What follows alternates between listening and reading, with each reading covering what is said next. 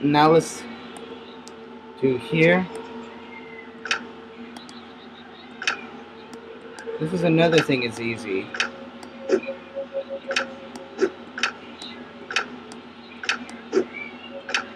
Okay.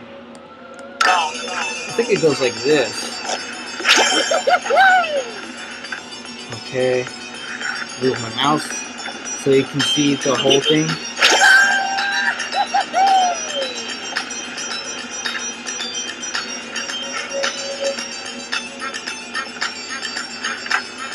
Here we go.